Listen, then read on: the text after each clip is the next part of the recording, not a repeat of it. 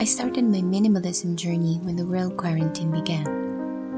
I started binge watching videos on minimalism and got really inspired and started tossing anything that don't spark joy. Let me share to you some habits I developed along the way.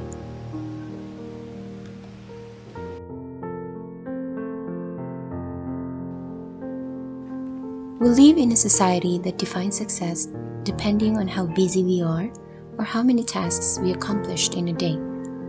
Minimalism teaches us to take it slow. Life is not a race on who finished the most tasks or who earned the most money. It is always good to take a break from our busy routines and breathe and enjoy life's simple pleasures.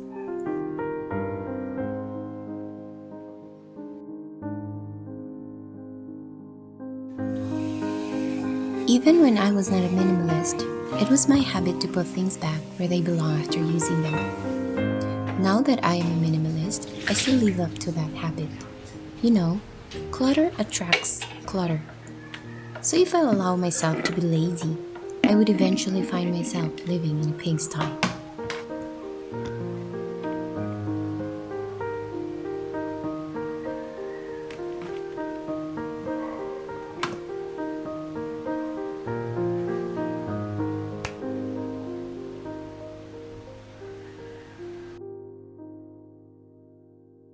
Since I became a minimalist, I have the constant urge to prune my belongings.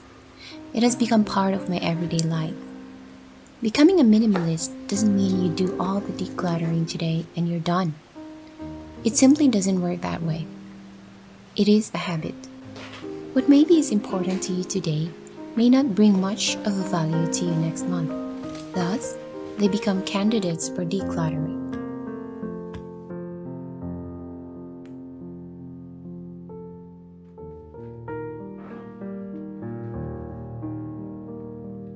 It is a common misconception that having more things around makes life a lot happier. I used to have a home where every drawer, every shelf, and every wall is filled with things. The more, the merrier. Minimalism changed that way of thinking.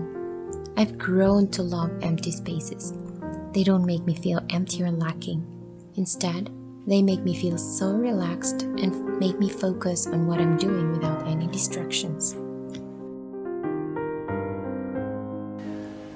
I sell or donate whatever I declutter. I never think twice. I take some time taking photos of them and post them online. Less clutter, more money. You have heard of this perhaps. When one new item comes in the house, one has to go. Recently, my husband bought a bicycle for our daughter. Since she is already too big for this toy car, we are letting it go so another kid might enjoy it too. We have our own individual standards for minimalism. Sometimes we tend to compare how much others have decluttered and try to keep up. This is not a competition on who decluttered the most or who has the least number of pillows. This is a lifestyle we adopt according to our individual needs.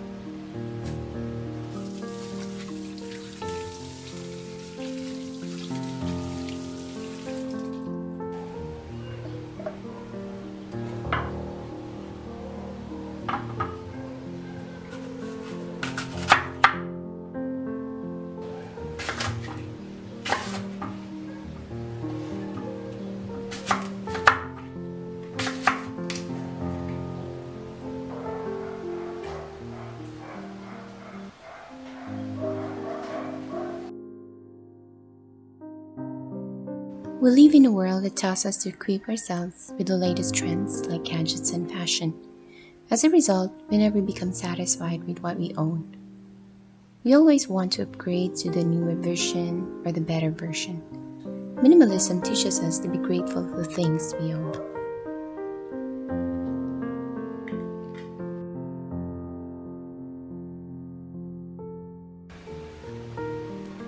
I used to be an impulsive buyer, but when I adopted minimalism in my life, everything changed.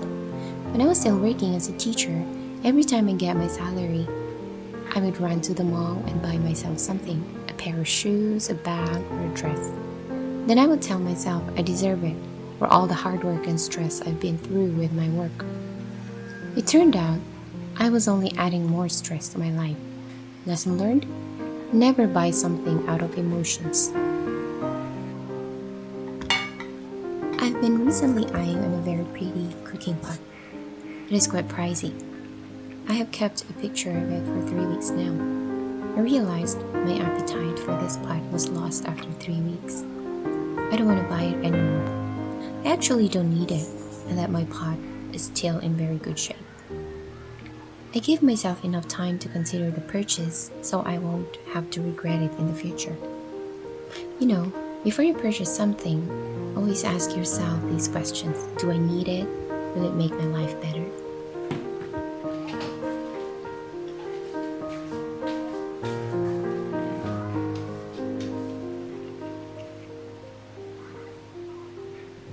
I never go to the grocery store without a list. I make sure all necessities are listed and I follow it strictly.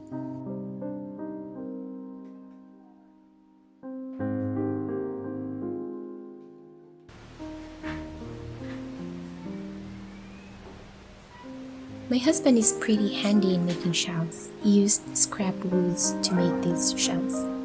Saved me a lot of money.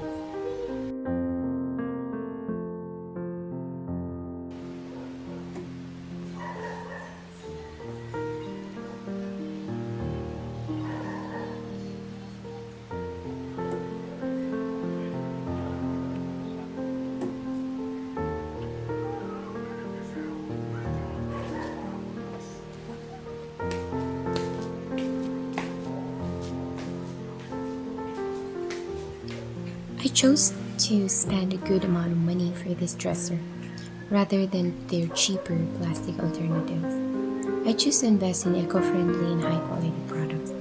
This dressers here can serve me for a good number of years.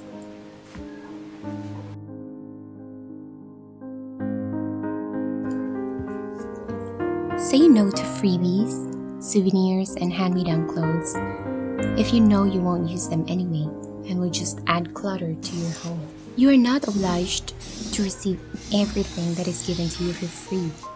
Just because it's free doesn't mean you have to take it.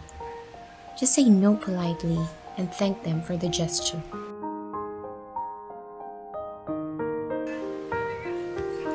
Before becoming a minimalist, I was a Korean drama addict. I would have marathons for hours. I would also spend hours of Facebooking, looking into people's lives, reading rants and complaints. Until I realized these two hobbies are emotionally draining me and stealing my time from my family. I was no longer entertaining myself.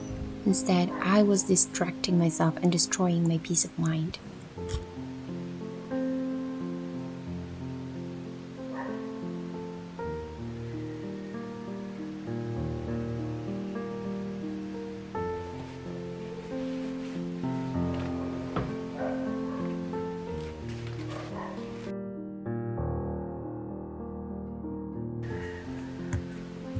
When it comes to my skincare routine, I make it simple.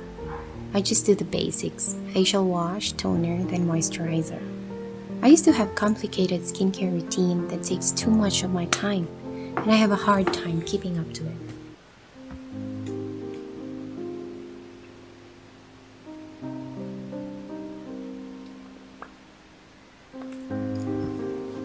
When it comes to outdoor clothes, I keep it simple too. I dress for comfort, but for fashion.